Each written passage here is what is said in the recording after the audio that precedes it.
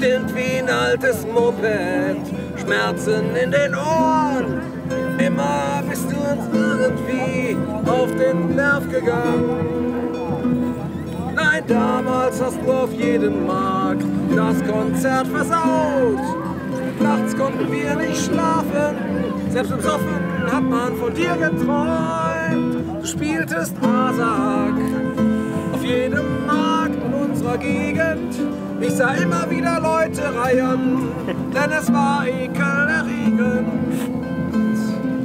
Asak, wir riefen die Götter zu Hilfe, doch die Blitze haben nie getroffen, deshalb haben wir uns besoffen und wir waren alle völlig fertig.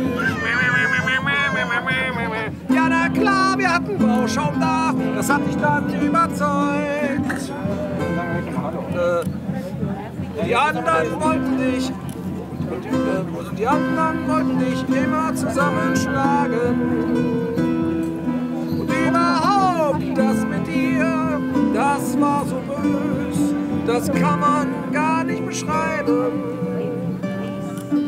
Heute wohnst du im Bauwagen und dein Sack hängt an der Wand.